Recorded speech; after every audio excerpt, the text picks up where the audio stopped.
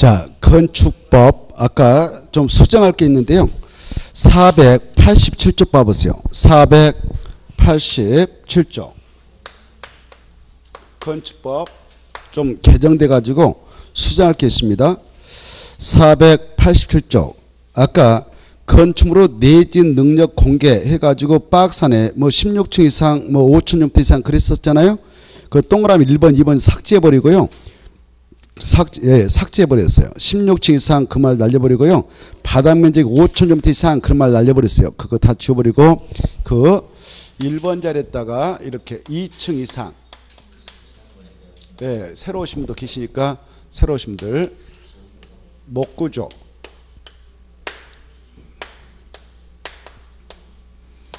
건축물은 3층 이상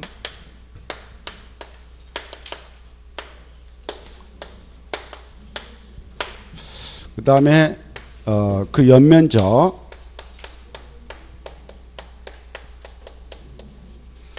(200점부터) 목구조 건축물은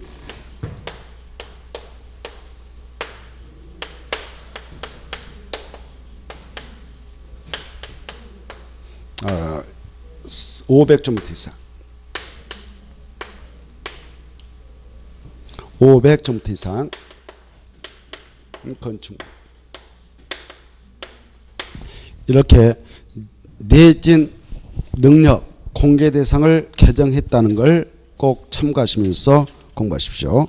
차지롭도 하십시오. 자, 그러면 이제 주택법으로 들어가겠는데요. 이 주택법 일곱 문제 나옵니다만은 내용은 많이 다른 법으로 옮겼기 때문에 양이 줄어들어서 어, 좀 전략적으로 공부하셔가지고 어, 최소한도 다섯 개 이상 마치도록 공부를 했으면 좋겠습니다. 이 주택법상 기초 내용은 통과하고요. 어디로 가시냐면은 한참 나가시면은 아, 쭉 넘어서 용어 정의는 넘어가겠습니다. 지난번에 했으니까 넘어가고 넘어가면 저기 551페이지가 나올 거예요.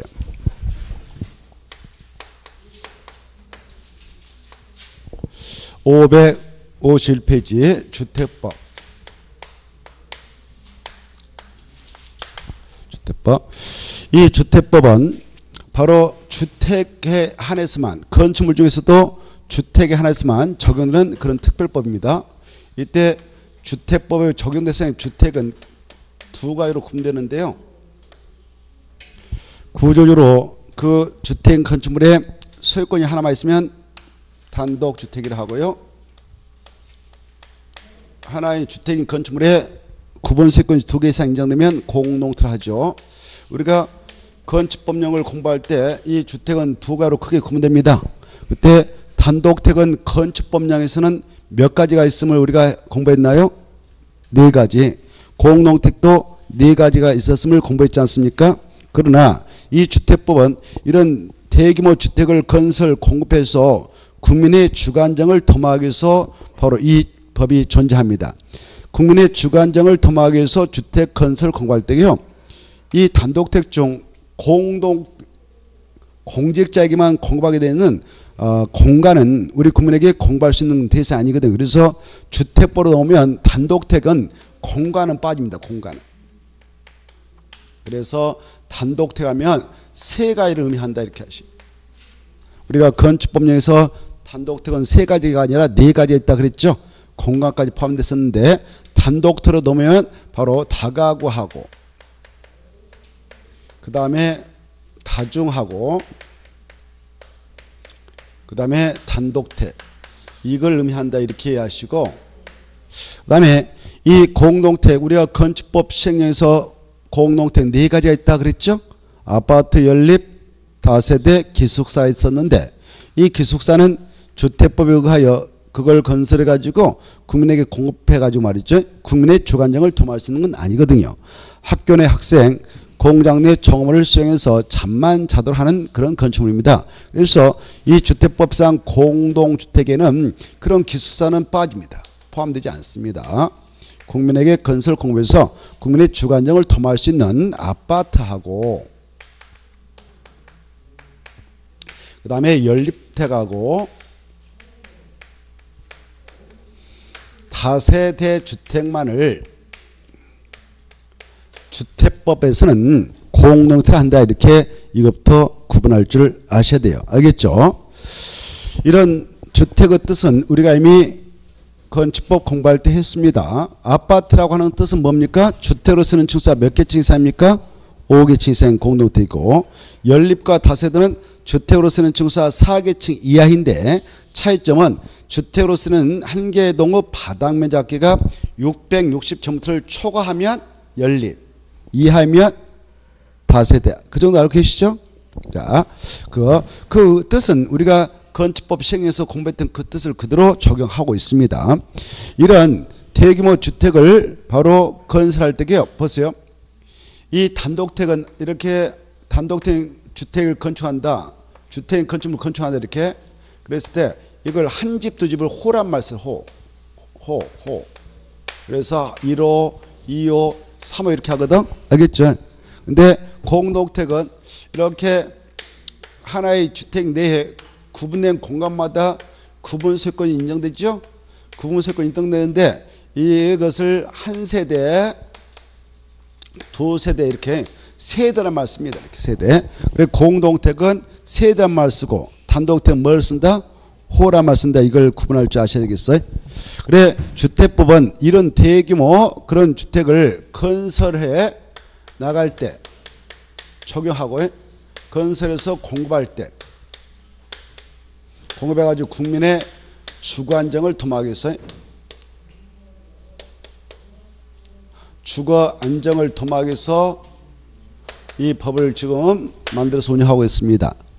이때 건설 공급할 때 바로 이 주택시장 주택시장을 또 관리하기 위해서 주택시장을 들여다보면 어떻습니까? 수요와 공급이라는 게 있겠죠. 수요와 공급. 그래 수요와 공급이 적절하게 균형을 이도록 해야 주택 가격 폭등을 억제할 수 있죠. 자, 그런 그래서 이 주택법에는 주택 공급할 때 바로 분양가를 규제하는 분양가 상한제 적용 제도를 두고 있습니다. 이런 것들 다 우리가 체크해 보겠어요. 그리고 이 공급할 때 바로 주택법에 따라 건설 공급되는 주택은 바로 일정한 지위라든가 일정한 그 증서를 미리 준비하고 있어야 되는데 그런 증서 지위를 가지고 있는 자에게 주택법에 의하여 건설 공급되는 주택을 공급해 나가도록 규제하며 공급받고자 할 때도 그런 증서와 지위를 미리 준비해 놔야만 공급을 받아갈 수 있는 자격을 부여하고 있습니다. 그런 규제를 가하고 있는데요. 그 규제를 바로 어질핀다. 그럴 때는 처벌합니다. 그걸 주택 공급 질서 공급 질서 교란 행위 금지기를 두고 있어요. 이따 이걸 우리가 보겠어요. 주택공급서 함부로 교란시키지 말라라는 주택 공급서 교란행위 금지 규정을 이따 우리가 체크를 해보도록 하겠습니다. 그리고 이 주택법에 따라 건설되어지는 주택들 투기 대상이 되지 못하도록 위해서 투기 과열 지구를 정해가지고 입주권인 분양권의 전매를 제한하고 있어요. 전매 제한. 입주권 분양권이라 하죠 흔히. 그래 투기 과열 지구도 무슨 법에 근거해서 지정해서 지금 운영하고 있냐? 주택법이 있다 이렇게 하셔요. 주택법. 어, 주택에 대한 투기 억자, 자, 특유 과유를 제한하는데 특유 과유가 정된 장소에서는 입주권이라고 하는 분양권 전매를 제한받습니다.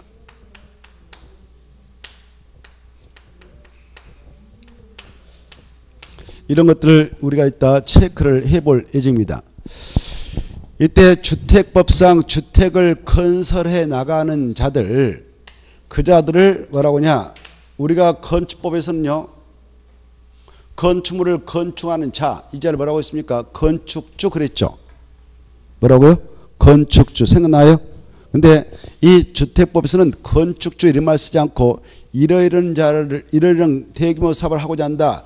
그런 사람들을 사업 주체라고 그래. 주택 건설 사업 주체 이렇게 뭐라고 한다? 사업 주체라는 용어를 씁니다. 이 주택법상 주택 건설 사업체 이 사업 주체는요, 바로 주택법 따라 사업을 하고자 할 때는 그 사업 계획서를 작성해 가지고 주택 건설 사업 계획서를 작성해서 작성해서 바로 우리가 건축법에서는 야 건축물을 건축하려면 건축주로서 건축허가 신청서 작성해서 건축허가 신청해가지고 허가 받고 건축해라 이렇게 우리가 공부했죠. 근데 여기는 사업계획서 작성해서 바로 사업계획 승인을 신청한다 이렇게 해요.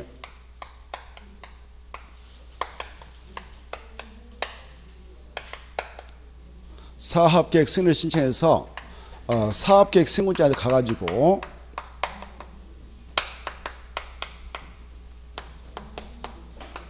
어, 사업계획 승인 신청들하면 이 친구들은 60인의 승인여부를 결정합니다만은 바로 어, 승인권자는 승인을 내줄 수 있는 건이다 그러면 승인해서 고시하면 이렇게.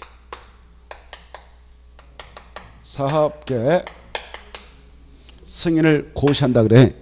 이때 고시가 들으면 사업에 착수할 수 있는데요. 사업에 시작 들어갈 수 있다 그 말에. 사업 착수가 가능해. 이때 이 착수는 5년 이내 하도돼 있어요. 몇 년이요? 5년. 우리가 건축법 지난주 공부했잖아요. 건축법상 건축허가 받았다.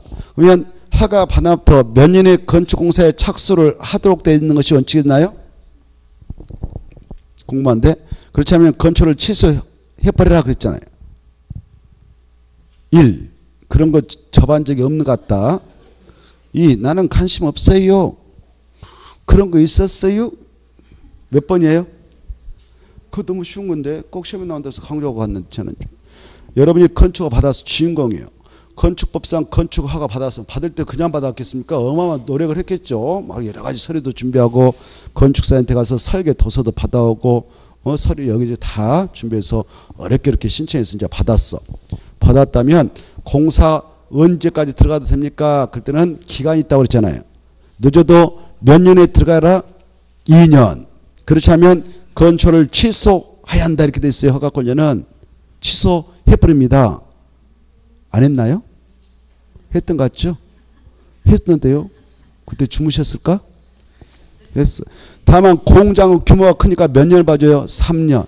그죠? 알죠? 생각나죠? 이제?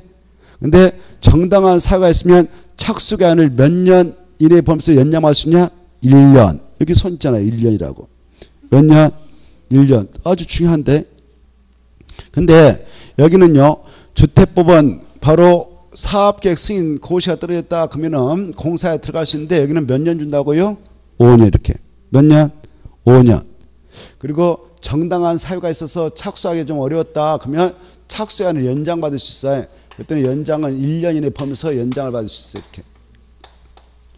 착수해서 공사 진행해서 이렇게 단독택을 쭉 건축했다. 한동투도 쫙. 그리고 공동택을 쫙 건축했다 합시다. 건축공사 이렇게 끝났다. 주택공사에. 그러면 공사가 완료되면 바로 이걸 사용할 수 있지 않겠습니까? 그러면 사용할 때 바로 이걸 신청한다 그래 여기는 사용 검사를 신청한다 그래. 뭘 신청한다고요? 사용 검사. 사용 검사권자한테 가겠죠. 사용 검사권자한테 사용 검사를 신청할 건데 이때 사용 검사권자는 15일이면 답을 줘요. 오케이 노. 그래서 사용 검사를 받고 사용을 하도록 하고 있습니다. 이렇게 돼 있어요. 이 내용을 지금 보려 하고 있어요. 근데 건축법 어땠습니까? 건축법은 건축공사 끝났다. 그걸 사용하려고 한다. 건축주가. 그럴 때는 거기는 뭘 신청해서 뭘 받아야 사용할 수 있었는가요? 용어가 사용 승인. 오케이 그래 그래. 사용 승인. 거기는 사용 승인. 여기는 사용 검사 이렇게 용어들이 바뀐다. 이것들을 먼저 크게 들여다보면서 보겠습니다. 자, 이때 봐보세요. 이 주택법상 이거 봐봐요. 주택법상 이거 봐봐요. 주택법상 아까 이 사업을 하려고 하는 자들을 뭐라고 그랬어요? 사업 주체란 말 썼죠. 이 주택법상 사업 주체란 이거예요. 여기 봐봐요. 사업 주체란 것은 바로 이렇게 사업계획서 작성해서 사업계획 승인 신청해서 사업계획 승인권자한테 사업계획 승인을 받아가지고 사업을 하게 되는 그런 주체를 사업주체인데 이 사업 주체가 되려면 주택법상 바로 우리 순수 민간인들은 우리들 우리들은 민간인들은 사업 주체가 되고자 할 때 미리 사업자 등록을 마쳐야 돼요. 사업자 등록.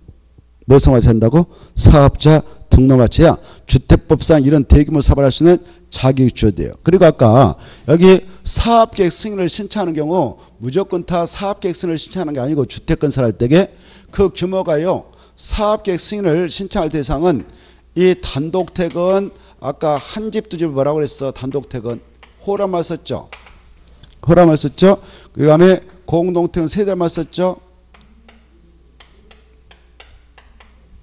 여기 이 단독택은 한 집 두 집을 호라말 썼는데 여기 주택법상 최소한도 사업계획 승인을 신청해서 사업을 하려면은 이 정도 이상일 때만 적용돼요.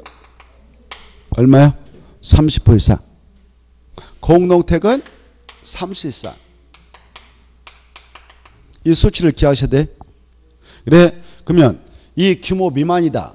여러분이 이렇게 단독택 건설해요. 봐봐. 돈 벌어가지고 단독택을 하나, 둘, 세 개. 이렇게 진다. 세 개만 진다. 3호.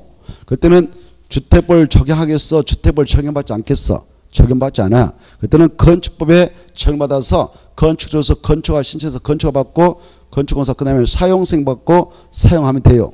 알겠죠? 그때 뭐 자기가 다 사용하던 분야에서 팔아먹던 그건 알아서 할 일이고요. 그래 이 규모 미만이면 무슨 보를 하고 건축보를 하고 이 이상일 때는 무슨 보를 넘어오고 주택법. 주택법상 뭘 신청해서 뭘 받아서 하는가? 사업계획서 신청해서 사업계획서 받아가지고 사업을 하게 돼 있다. 이 수치를 아셔야 돼. 사업계획 승인 신청 대상. 이 대상은 이거다. 공동택 몇 세대다고요? 30세 이상. 그 다음에 여기 봐봐요.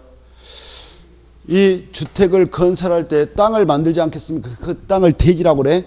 그래, 그때 대지 조성 사업을 하게 될 때는 얼마 이상일 때 주택법의 사업계획 승인 대상에 대해서 사업계획 승인 받고 해야 되냐? 그 면적이 1만 정토 이상일 때. 얼마요? 1만 1만 제곱미터 이상일 때 주택법에 1만 제곱미터 이상은 뭐 평수로 말하면 얼마 안 되잖아요. 약 3,000평 정도. 자, 이걸 사업계획 승인 신청 대상이라고 그래. 근데 다만 봐봐요. 이 단독택 중에서도 한옥은 이따 우리가 보겠습니다만은 한옥은 예를 더 가지고 50% 이상일 때 사업계획 승인 받아서 사업을 하도록 돼 있고 미만이면 건축법을 적용해서 처리합니다. 이렇게 여기 봐봐요. 이렇게 대규모 주택 건설 사업을 한다. 주택 건설 사업을 한다. 그러면 주택 건설 사업체를 하고 이 대지 조성 사업 한다 그러면 대지 조성 사업체를 하는데 이때 이런 사업을 하게 될 때는 우리 민간들이요. 우리 민간들은 사전에 바로 이걸 해야 돼. 이걸 맞춰야 사업자 등록을 맞춰야 사업 주체의 자기 주지는 거예요. 무턱대고 이거 하는 거 아니에요. 무엇을 해야 된다고요? 사업자 등록. 사업자 등록. 그때 우리 법에서는 야 사업 주체로 등록하려면 민간인들 야 너네들 만약 1년 동안 연간이라고 그래. 연간 20호 이상 여기 봐봐. 20호 이상 단독택을 건설하고 싶다. 20세 이상 연간입니다. 1년 동안. 20세 이상 20세 이상 공동택 건설하고 싶다. 1년 동안 연간 1만 정대 이상의 사업을 하고 싶다. 대지정 사업. 이럴 때는 미리 국토교통부한테 등록을 해라. 사업자로서 사업자로서 등록해야 된다. 그래야 사업할 수 있는 자격이 주게 법적으로 주어진다 이렇게 하고 있어요. 네, 이때 국토교통부한테 사업자 등록을 하면 그 자를 뭐라고 하냐? 등록 사업자라 그래. 뭐라고 한다고요? 등록 사업자. 그래 등록 사업자로서 등록을 해야 할 규모가 있어. 어, 단독택은 1년 동안 몇 호 이상 건설하고자 할 때는 우리들은 사업자 등록을 해야 사업을 할 수 있는가? 20호. 공동택은 20세대. 대지는 1만 헥터. 그것은 연간이 꼭 붙어. 연간. 여러분이 돈 벌어가지고 올해 단독택 바로 10개 건설해서 하고 싶다. 그때는 그때는 사업자 등록 할 필요 없어. 내년에 또 10개, 올해도 10개 이렇게 지어서 건축해서 분야에서 파는 것도 어쨌든 그때는 건축법대로 하면 되지 사업자 등록할 필요 없어요. 연간이 1년 동안 1년 동안 바로 몇 호 이상 20호 이 수치 알아주세요. 연간 공동체 얼마 20세대 그리고 대일은 연간 1만 정도 이상 이렇게 대규모 사업을 할 때는 미리 사업자 등록을 해야 된다. 누구한테 해야 되냐? 국토교통부 장관한테 등록을 마쳤다 그러면 그 사람을 등록사업자라고 그래. 이 등록사업자는 주택법상 사업 주체의 자격이 주어집니다. 이런 사업을 할 수 있는 자격이 주어집니다. 민간인들. 그리고요. 여기 이 단독택 중 특히 바로 도시형사활특은 공동택 중 공동택 중 특히 바로 이 도시형사활특은 몇 세대 이상부터 사업자 등록을 하도록 되냐? 30세대 이상부터 도시형사활특. 자, 그거 한번 보겠습니다. 자, 이렇게 봐봐요.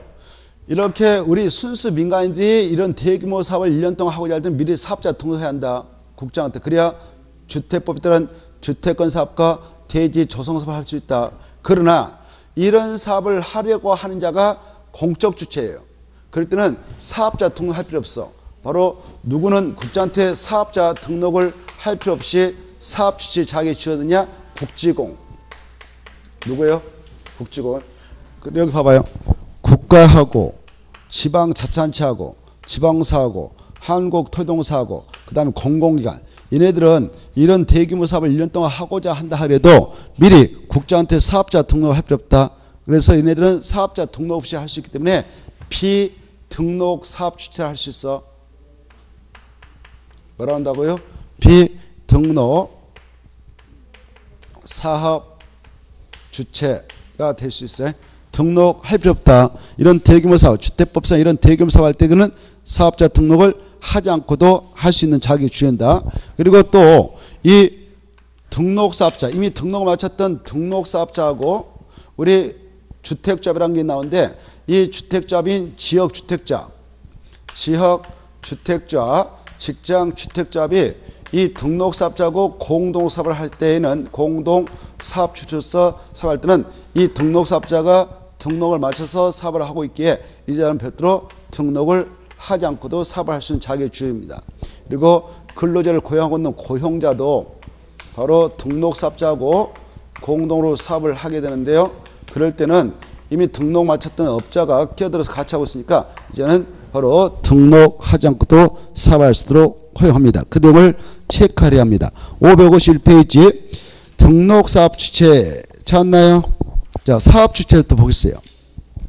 555페이지, 551페이지 주택법상 주택건설 사업주의 뜻부터 봅시다. 사업 주체를 하면 이 법, 이법 이따 줄거 주택법이죠. 주택법에 따라 주택건설 사업계획 승인을 얻어 대지 조성 사업계획 승인을 얻어 그 사업을 시행하는 다음호자들을 말하는데 국가, 지자체, 한국도도사, 지봉사 그다음에 등록한 사업자들 이때 1번, 2번 묶어봐요. 동그라미 1번, 2번 묶어서 비등록 사업체 그랬어. 1번, 2번 묶어서 비등록 사업체 국가라든가 지방 자치단체라든가 한국도동사 지방사는 등록할 필요 있다 없다? 없다. 그리고 동그라미 3번은 등록했다 동이 사업체 동그라미. 그래서 그네를 약자로 등록 사업체를 합니다. 이때 등록 사업체를 보면 등록 사업체 등록 대상자가 있죠. 체크. 연간 단독템 몇 호? 20호. 공동템 연간 20세 이상. 다만 도시형상할때 경우는 30세 이상. 그리고 자 어, 주택건설 사업을 시행하려는 자 연간 1만 정도 이상의 대의를 조성 시행하려는 자는 누구한테 등록하든가 국토교통부 장한테 등록한다. 이렇게 등록한 자를 써봐요. 등록한 자 옆에 뜻다. 이와 같이 등록한 자를 써. 이와 같이 등록한 자를 등록 사업자를 한다 이렇게 써놓으시고 넘어가셔서 가로 2번 중에 2번 중에표 얘네들은 등록을 할 필요 있다 없다 없다 중에 다음에 사업 주체의 경우에는 국장에게 등록하지 아니한다. 아니한다 그 말 밑에다 써봐. 같은 말로. 아니하고 써봐. 아니하고 주택건설 사업 등을 시행할 수 있다. 아니하고 주택건설 사업 등을 시행할 수 있다. 그리고 중요표. 그래 여섯 명은 비등록 사업체니까 국자한테 등록해야 된다 그러면 틀립니다. 세 번 나왔으니까 꼭 알아주시고. 그래 1번 국자 지자 공자 2번 공자 그리고 4번도 마지막 공익법을 할 때 공자에서 약자로 국지공. 국지공은 바로 비등록 사업체니까 국자한테 등록해야 된다 그러면 틀립니다. 그리고 5번 등록 사업자와 공동으로 그 주택건설 사업하는 주택조합도 등록하지 않고 할 수 있고 6번 고용자도 등록 사업자와 공동으로 사업을 하게 될 때는 등록할 필요 없다. 그리고 밑으로 내려오셔서 여기 아까 우리 순수 민간인들이요. 이게 연간 20% 이상 단독, 연간 20세 이상 공동, 원룸형 주택은 30세 대, 연간 1만 주택 이상의 대지 조성사업을 하려고 국장님한테 등록을 해야 된다 라고 할 때 등록을 하려 할 때는 서류를 준비해야 될까요? 서류 없이 가도 될까요? 서류 준비해야 되죠. 그 서류가 박스와 같습니다. 박스 보시면 1, 2, 3. 그래 자본금 체크. 그 다음에 사무실 체크. 그 다음에 기술자 체크. 그래서 일단 자본금은 3억 원 그다 줄거 봐. 3억 원은 법인인 경우 이렇게 쓰나. 그래 이 사업자 등록을 하러 갈 때 법인을 만들어서 갈 수 있고 법인 안 만들고 개인명으로 이 사업자 등록을 받아 갈 수가 있어요. 법인 만들어 갈 때는 얼마 이상 있어야 되냐? 3억 원. 개인명으로 사업자 등록할 때는 자산평가액 얼마? 6억 원 이렇게 받으시고 2번 어, 만약 여러분이 여기에 주택건설 사업자로 등록한다 그러면 건축 분야 기술자 이상 대지 조성 사업자로 등록하고 싶다 그러면 토모 분야 기술자 이상을 확보하면 된다 이렇게 하셔요. 그리고 동그라미 1번과 3번은 양쪽 똑같이 공통 적용되는 것이죠. 사무실은 바로 어, 사무 장비를 갖출 수 있는 면접만 있으면 된다. 콩마는 것도 괜찮다 이렇게. 그 다음에 오른쪽도 모셔서 가로 2번 체크합니다. 여러분이 이 주택건설 사업자로서 대지 조성사업자로서 등록을 하려 갔는데요. 국장님한테 오른쪽에 여섯 가지 해당한다. 그러면 등록 안 내줍니다. 사업할 때 문제를 일으킬 수가 있으니까 등록을 내주지 않아요. 그래 이걸 등록 사업자에 격격해서 하는데 1번, 2번, 3번, 4번 쭉 읽어보시고 그 다음에 이제 넘어가셔서 넘어가시면은 어, 554페이지 554페이지 통과해도 되겠고 555페이지 바로 박스 있죠. 등록말소 영업정지에서 바로 국토교통부장께서는 등록사업자가 다음에 해당하면 그 등록을 말소 내지 영업정지 1년에 범서 명할 수도 있다. 그런 건 몰라도 되는데 이제 다만 중에 이제 체크. 다만 1번과 5번에 해당하면 그 자의 등록을 말소해야 한다 할 수 있다. 해야 한다. 중요표. 체크해요. 그래. 눈에 탁 띄게 1번하고 5번 밑줄 쫙 꺼버려요. 그래 이 등록을 받아갔던 업자가 국장님에게 받아갈 때 1. 거짓 부정함으로 등록을 받아갔다 들통났다. 5. 받아갔는데 법을 위반해서 등록증을 다음 때 빌려줬다 대했다. 그때도 반드시 등록을 말소해야 된다. 꼭 받으시고. 그 다음에 넘어가도 됩니다. 넘어가셔서 556페이지. 공동사업 주체. 자 공동사업 주체 3명 그렇으나? 크게 몇 명 있다고요? 3명. 아까 여기 언급했던 친구들 있잖아요. 여기 비등록 사업 주체 여기 봐봐 비등록 사업체로는 국가도 있었고 지방자치단체 그다음에 어, 그 지방공사, 한국토동사, 공익법 이네들은 단독으로도 사업을 이 사업을 할 수 있어 주택법상. 그런데 이 등록사업자고 손잡고 공동으로 할 수 있는 자들이 있어요. 바로 공동으로 사업을 할 수 있는 자는 아까 보았던 공동사업주체, 공동으로 사업을 진행할 수 있는 자는 세 가지 경우가 있어요. 주택법에 의하여 탄생된 조합주택을 만들려고 탄생 주택조합. 이 주택조합은 이 조합주택을 만들 조합원의 조합주택을 만들 때 이 민간업자하고 손잡고 할 수 있어 이렇게 등록사업자. 여기 봐봐요. 우리가 주택법에서 등록사업자, 등록사업자 이런 용어를 접하고 있는데요. 우리 일상에서는 이렇게 생각하면 돼. 현대건설 회사 있죠. 또 코아로 회사 있잖아요. 또 뭐 아무튼 프로지오 건설 회사 있잖아요. 이런 것들을 우리 주택법에서 뭐라고 하냐? 등록사업자라고 등록사업자 이해돼요? 그러면 이 등록사업자하고 이 조합주택 만들려고 주택자비 같이 손잡고 한다. 그때 얘네들을 공동사업주체라 이렇게 보는 거예요 법에서. 이렇게 이때 이 주택조합은 등록사업자하고 공동을 꼭 해야 되냐? 꼭 해야 할 의무는 없어. 할 수 있다. 공동으로 할 수 있다. 체크해. 임의적 임의적. 했다면 양자는 공동사표로 간주된다. 이걸 이해하시기 시험 공부예요. 자, 그 내용이 오른쪽 2번 있을걸? 2번. 2번이면 어, 세대수를 늘리지 않는 리모델 주택자본 주택을 건설할 일 없으니까 그네들은 공동사업주에서 빠지고 그냥 그 조합 리모델 주택자를 제한 나머지 주택자 하면 지역하고 직장을 말해 밑에다 써봐. 1번. 1번 주택자 밑에다 여러분 할수록 지역 점 찍고 직장. 지역하고 직장.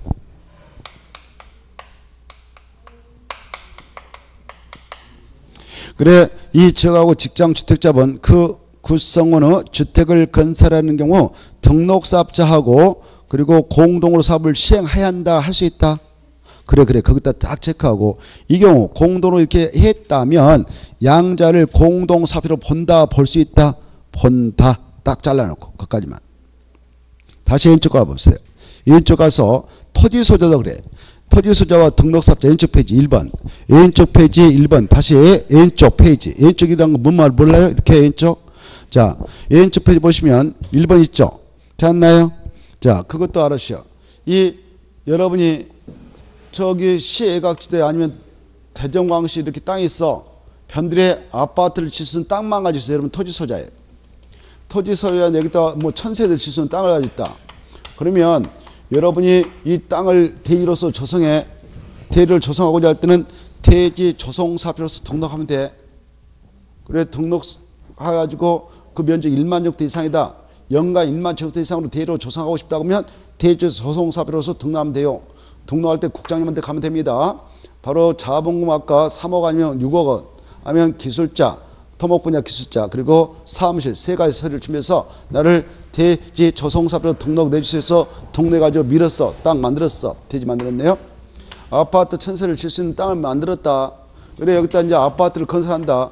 여러분이 그러면 또 바로 주택건설 사업자로 등록하면 돼요. 주택건설 사업자로 등록할 때 이제 하나만 준비하면 돼. 아까 사무실하고 자본금은 이미 충족돼 있으니까 건축 분야 기술자 이상 하나만 확보하면 돼요.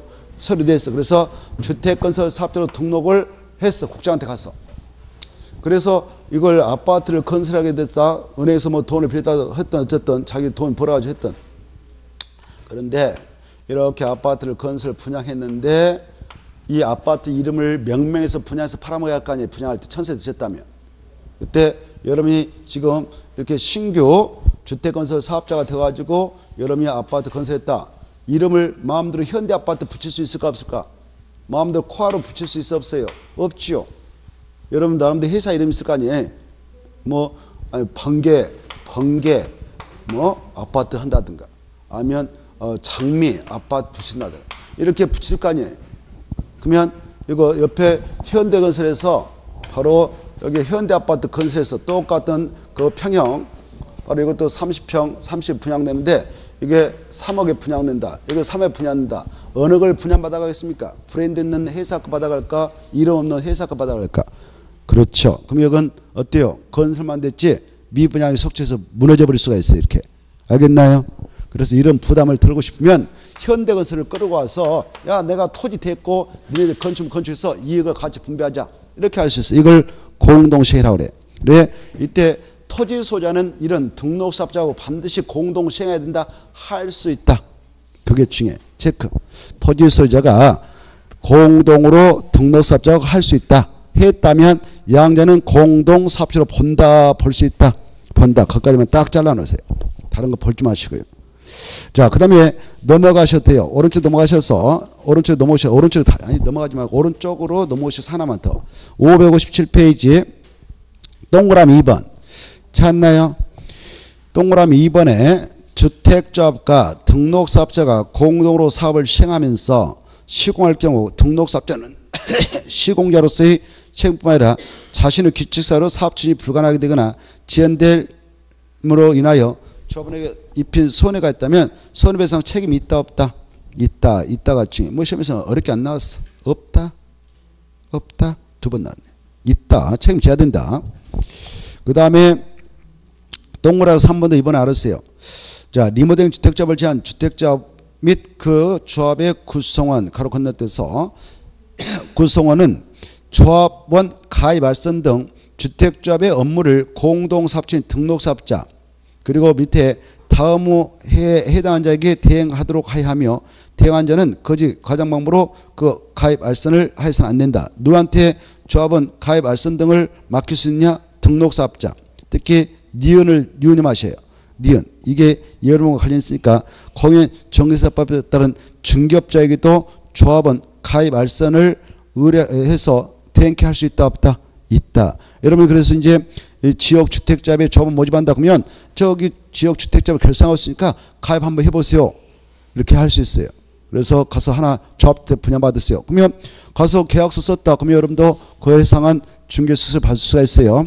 과거에 그 못했는데 지금 허용하게 됐다. 이렇게 이게 중요해.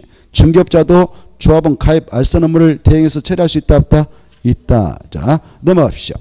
3번 보겠습니다. 고용자와 등록사업자 찾았죠. 이것은 이제 의무적이에요. 근로자를 고용하고 있는 쌍용 자동차 사장이 있다. 그 사람은 그 본업이 있지 않습니까? 고용자는 그래서 본업에 충실해야 되니까 이 고용자는 사원 아파트 칠 때에 반드시 등록사업자와 공동으로 사업을 하도록 되어 있습니다. 의무사입니다. 차있지 마세요. 할 수 있다가 아니라 이것은 하의한다 체크. 누구는 하의한다? 고용자. 아까 토지소자하고 주택자는 임의적이었죠. 이것은 의무적이다. 이 차이점을 한눈에 딱 파악하시고 양자가 같이 손가 잡고 있다면 공동 사업체를 본다 볼 수 있다 본다 이렇게 딱 봐두시면 되겠습니다. 자, 그 다음에 이제 주택잡을 잘 정리해 두셔야 돼. 이 주택잡에서 한 문제 나옵니다. 한 문제 나오니까 나오면 이런 것들을 점수화시켜야 되겠습니다. 그 내용을 보기 앞서서 아까 이 파트, 이 파트 한번 흐름을 보고 다시 주택집 넘어오겠는데 어디로 보느냐? 이 주택법상 주택을 건설해서 공부하는 그 절차. 575페이지 한번 쑥 훑어보고 넘어오겠어 575페이지. 사합계획 승인 대상부터. 사합계획 승인 대상. 찾나요? 사합계획 승인 대상 자 가로 1번 주택법상 사합계획 승인 대상에 해당하는 사업 규모는 그것도 줄 거예요. 주택법상 사업계획 승인 대상에 해당하는 사업 규모 제목에다 딱 줄 것이고 줄 건나요? 껐으면 껐으면 박스 밑에 있죠. 박스로 화살표 그리고 제가 입고 하면 딱 찾아서 줄 거. 박스 안에서 자 1. 단독택 30호 다만 다만 다음에 해당하는 주택인구는 50% 한다. 그다 줄 것이고 다음이 뭐냐? 다음에 또 떠맞춰봐. 다음. 다음에 또 떠맞춰가지고 나번 화한옥에 또 떠맞춰서 고려 화살표. 다음이 뭐다고? 한옥만 딱 찾아. 나번에. 나번에 한옥. 그래서 한옥은 몇 호 이상일 때 사업계획서 받아야 된다? 50호. 꼭 알아주세요. 그것만 딱 봐도 너무 나머지까지 하면 진짜를 놓쳐버릴 수 있으니까. 2번. 공동택 원칙 얼마다? 30세 이상. 이것만 딱 받으시고. 얘는 나눠버리고. 그 다음에 넘어가셔서 넘어가셔서 가로 2번 대지 조성사업은 면적 얼마 이상 일 때 1만 여기까지가 바로 사업계획 승인 대상이에요. 알겠죠? 자 그래서 사업계획 승인 대상은 30, 31만 다만 한옥은 얼마? 50호 이상 꼭 기하십시오. 자, 그 다음에 밑으로 내려오셔서 2번. 사업계획 승인권자에게 사업계획 승인을 신청하는데 사업계획 승인권자 그다 줄 거예요. 제목에다. 제목에다 줄 것이고 가로 1번, 2번 묶어요. 그리고 오른쪽에 3번까지 묶어. 가로 1번, 2번, 3번을 묶어서 고려 하살표. 사업계획 승인권자가 그거거든. 그래서 사업계획 승인권자 누구냐? 가로 1번, 2번 보인가요? 자, 이렇게 사업계획 승인을 신청할 때 사업계획 승인권자한테 가야 되겠죠. 사업계획 승인권자는 여기 아까 사업 주체 중에는 여기 봐봐요. 사업 주체 중에는 국가도 있고 지방 자산체도 있고 지방공사도 있고 한국 토종사도 있고 그랬죠? 그렇죠? 국가도 있었고 그다음에 한국 토 주택공사도 있었고 사업 주체는 국가도 있었고 그다음에 지방 자치단체도 있었고 그다음에 한국 토지 주택공사도 있었고 한국 토지 주택공사 또 지방공사도 있었어요. 여기 보십시오. 한국 토지 주택공사는 누가 만든 공사일까? 1. 국가 2. 지방자산체 국가의 지방공사는 누가 만들었을까? 지방자산체 그 정도 알고 계시죠? 자, 그래 국가가 만든 한국 토종사 지방자치단체가 만든 지방공사 그래 그리고 민간업체 등록사업자 얘네들 사업할 수 있는 사업 주체들이잖아요 예. 민간사 등록사업자 그래 여기 그리고 아까 공동 사업주도 있었죠 이 등록사업자하고 같이 할 수 있는 토지 소재도 있었고 또 고용자도 있었고 같이 하는 또 어, 주택잡도 있었죠. 사업을 하게 된 친구들 보니까 이랬어요.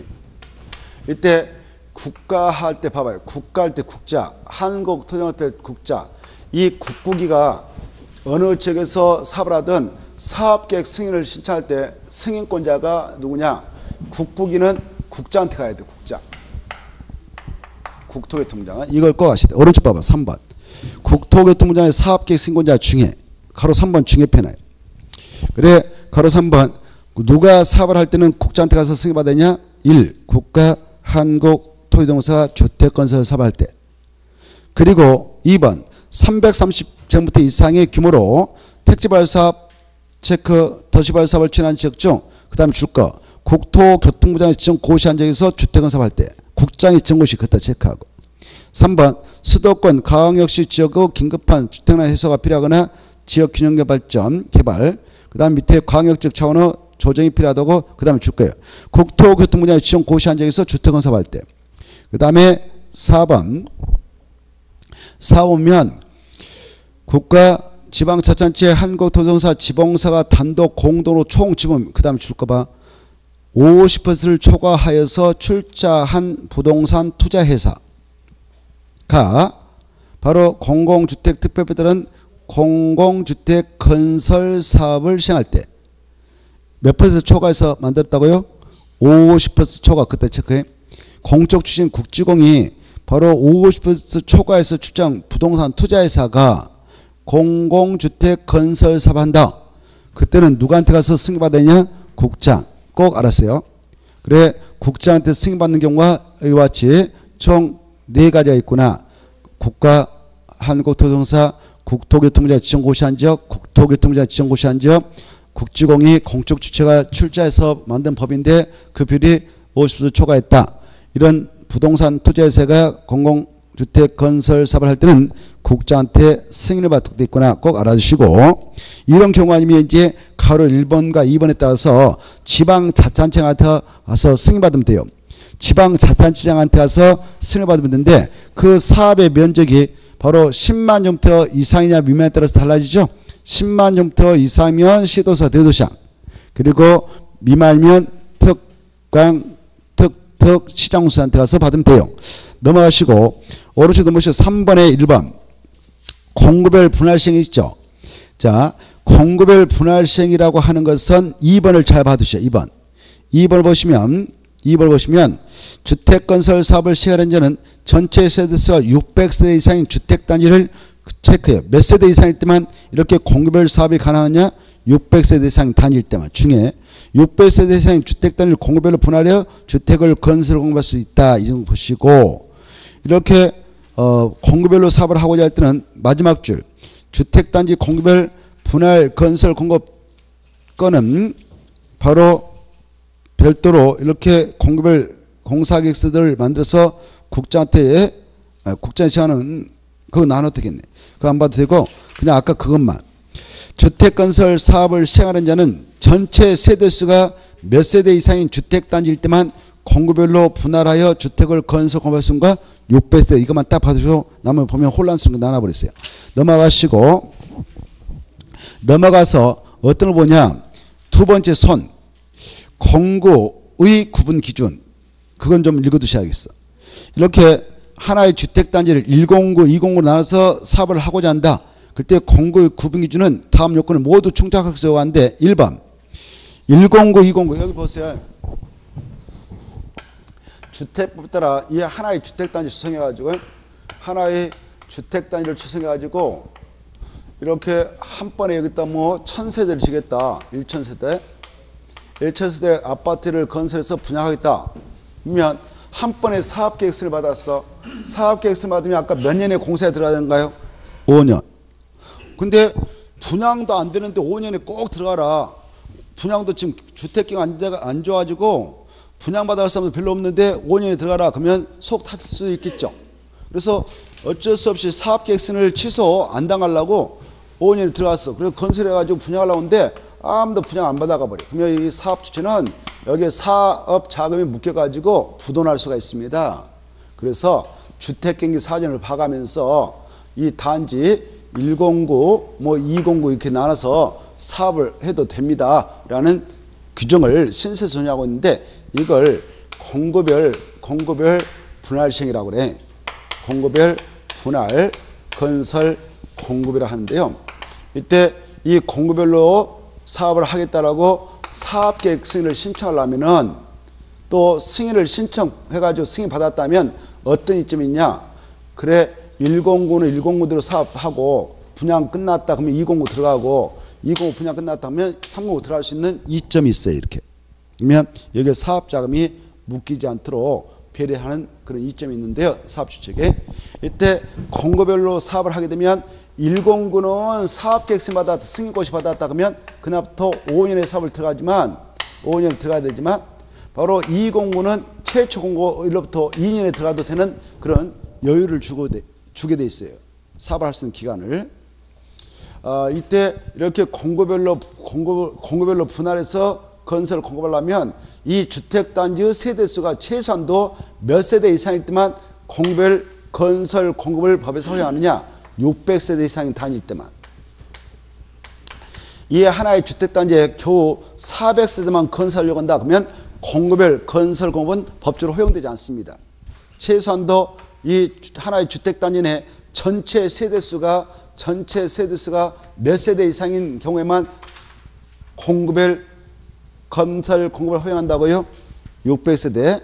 그때 600세대인 단지에 대해서 공급별 사업을 허용받고자 할 때는 공급 간 폭을 나눌 때에 109, 209 폭을 나눌 때 최소한도 6m 이상 띄어야 되고 여기다 뛸 때 뭐 여기다 너린 너트를 넣는다든가 부수처 넣는다든가 적용한다 이건 알아서 할 일입니다만은 폭 6m 이상은 띄어야 된다는 거 그리고 각각 공고마다 최소한도 300세대 이상은 이렇게 나눠서 건축을 하도록 규제받고 있다는 것. 그 정도는 알고 계시면 좋겠습니다.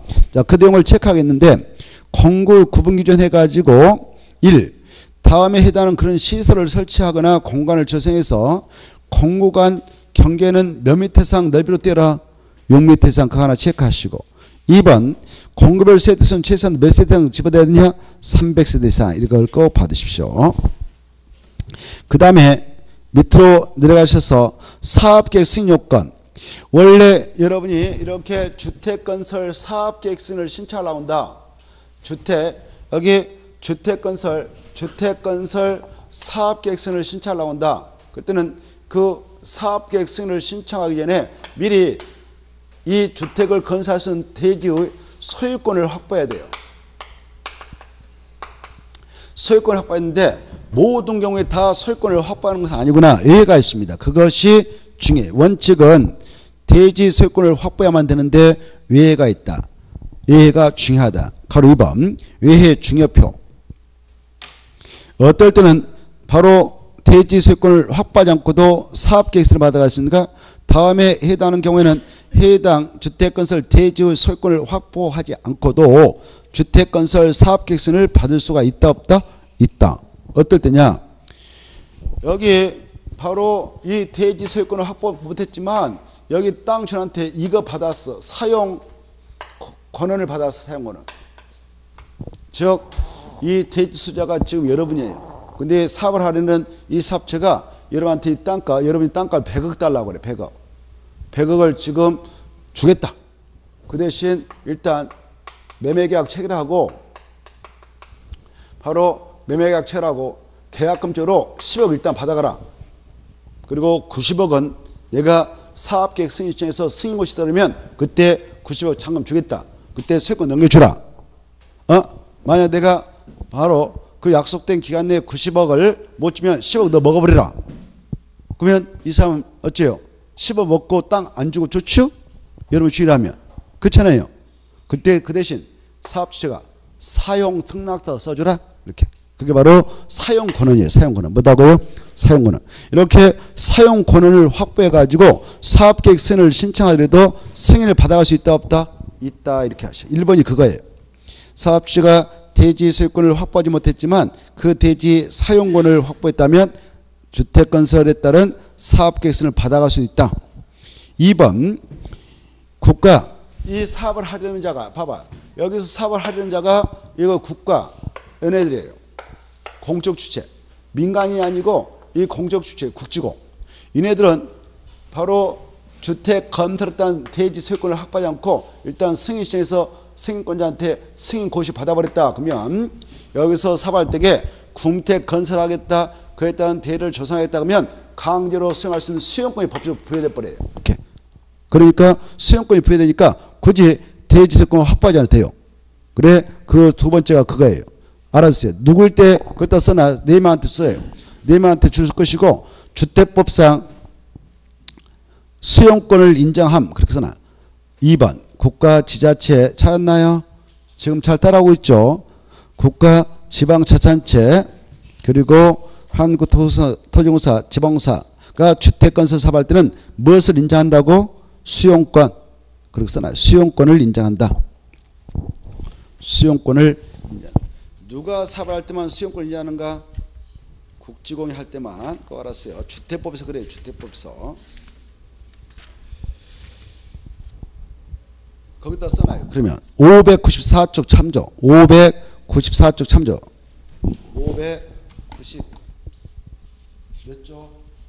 4페이지. 가봐. 손잡고 가서 이럴 때 눈으로 찍어 놓으시 여러분이 어렸던 머리에 남을 거예요. 594쪽. 찾나요? 주택 건설에 따른 필요한 토지 등을 수용 사용해 가지고 1번 하고 2번을 묶어서 정리해 두셔. 1번, 2번. 1번, 2번. 1번 보면 줄 거예요. 국가, 지자체, 한국도서, 지방공사 사업체 그때 딱 줄 거예요. 얘네들을 공공사업체 나 공공사업체 써봐. 공공사업체, 공공사업체, 공공사업체. 그네들만 마지막에 수용하거나 생활세 그때 줄 거. 마지막에. 마지막에 수용하거나 생활세 찾았죠. 누구에게만 주택법에서는 수용생활 인정하는가? 국지공. 얘네들 뭐 할 때만 수용하는가? 공택건설 그에 따른 대정사 할 때만 수용 생활시권에 받으시고 2번 보죠. 이렇게 주택법상 그네들 토지 등을 수용 생활할 때 이 법에 규정된 것, 이 법이 주택법이죠. 이 법에 규정된 것 외에는 무슨 법을 준용한다?